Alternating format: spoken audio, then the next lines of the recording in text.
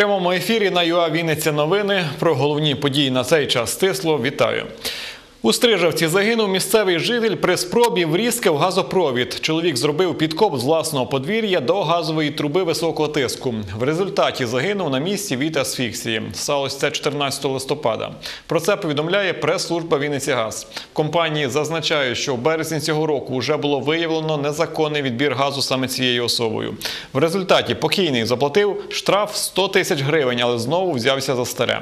УПАД Вінницягаз раніше неодноразово висвітлювали сумні наслідки несанкціонованого втручання в роботу мереж. Також, також газовики просять споживачів повідомляти про факти незаконного споживання природнього газу. Це можна зробити, позвонивши на гарячу лінію або за номером 104. Анонімність та грошову винагороду гарантують.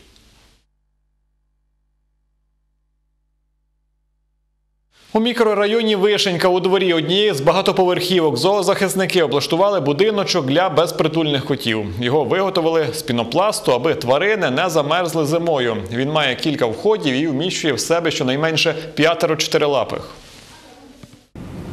Для них це єдина домівка. Пінопластовий будиночок для котів облаштували у дворі багатоповерхівки на Стахурського. Це була ініціатива мешканців цього будинку. Е, Як ви можете побачити, в них замуровані підвали, тому це така, скажімо, альтернатива для тварин, для кішок, е, які зможуть е, в холодну пору року, взимку і в осінній період знайти собі прихисток, якесь тепле місце, де можна буде перезимувати. Взагалі, по Вінниці це не перший будиночок. Я знаю, що в багатьох районах міста це і Замостянський район, і район Вишенька, е, і Поділля встановлюються подібні будиночки, тобто люди піклуються про тварин. Будиночок має декілька входів, розміщений на цеглинах. Мешканці висотки підгодовують котів. Хтось спеціальним кормом, а хтось домашньою їжею. Вони б загинули без такої допомоги. Ідуть холоди, і я вважаю, що це дуже гарна ідея. Треба допомагати їм. Я думаю, що всі повинні зробити такі доміки для своїх тваринок, які живуть в дворах. Василь Ніколайчук, мешканець будинку, де й змайстрували прихисток для котів. Каже, безпритульних тварин у цьому дворі багато. Діти виходять, кормлять цих котів. Коти вони бродячі, попід подвали і ще щось. Котенят дуже багато приводять кошки. Вони не стерилізовані.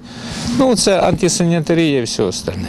Я вважаю, що кожен кіт повинен бути в своїй квартирі, а на вулиці котові не місце. Їх ніхто не обіжає тут, тому що діти граються, але вони, знаєте, що таке безпризорний, то безпризорний. В перспективі будиночок удосконалять, змайструють із дерева. Зоозахисники обіцяють збільшити кількість котячих домівок у місті. Руслана Ткачук, Олександр Базюк. Новини.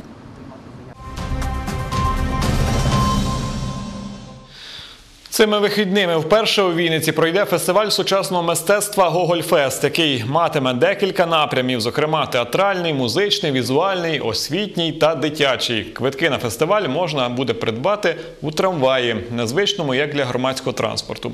Вагон білого кольору з великим білим носом попереду. Пасажири під час поїздки можуть ознайомитись з програмою Гогольфесту. Білий трамвай з великим білим носом попереду протягом трьох днів їздитиме вулицями міста. Замість маршруту на табло напис «Гогольфест». А ось і реакція перших пасажирів. Доброго дня. Заходьте, заходьте, заходьте. Трамвай під номером 339 виконує функцію інфопоінту фестивалю.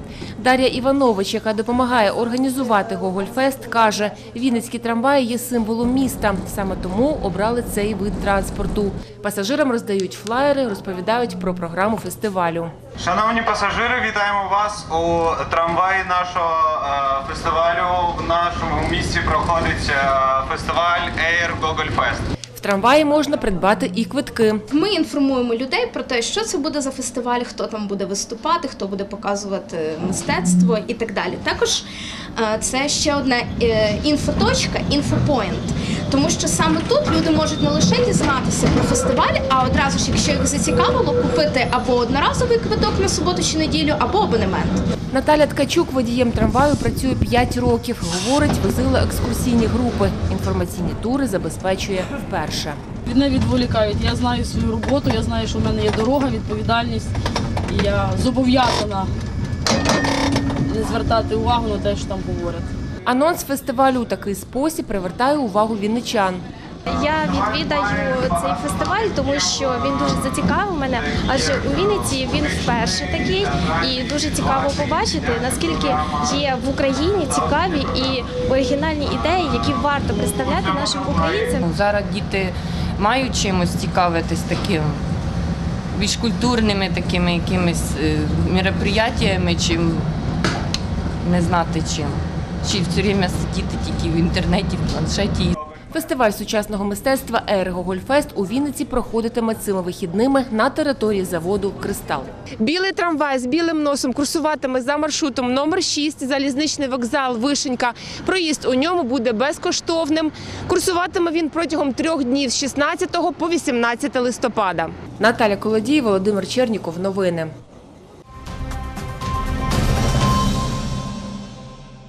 Вже понад 20 років в Україні відзначають День працівників радіо, телебачення і зв'язку. Професійне свято медійників припадає на 16 листопада. Дата обрана не випадково, адже цього дня вийшла в ефір перша програма українського радіо. Сьогодні ми розповідатимемо про телевізійну та радійну кухню UA Вінниця. Нині у структурі філії працює понад 80 осіб. Це продюсери, редактори, інженери, оператори, режисери монтажу, ведучі та кореспонденти. Люди, які щодня створюють теле та радіопродукт і видають його в ефір. Ірина Хоходра розповість, що там по іншу сторону екрану. Коли на робочих місцях нікого немає, насправді на UA Вінниця кипить робота, адже ми не можемо не розповісти вам про найголовніші події Вінниччини. На календарі 16 листопада, і хоч для телевізійників цей день святковий, він не відрізняється від робочих буднів. Усім відомо, що у журналістів ненормований робочий графік. Ми можемо почати свій трудовий день як о 5 ранку і закінчити о 12, так і працювати усю ніч. Незважаючи на свято, робочий процес триває. Всі активно працюємо, ходимо на зйомки, робимо сюжети, аби сьогодні глядачі дивилися випуск новин.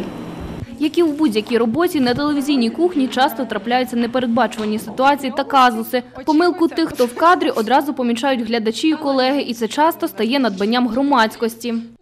Сереж, ми почнемо чи не в бані? Я буду говорити. Я буду мовчати, я поняв. Валера, я забула друге речення. А, все. Щас. У Гайсині. За щас, щас. Постелять верхній шар асфальту. Медики зафікс... Як зберегти об'єм надовше і гарантувати. А якщо світило сонце, то до сурових, сурових, суворих. Головне прийти і здати аналізи. Я вже здала. А ви? Чуєш, Вадік, ще, включай мене.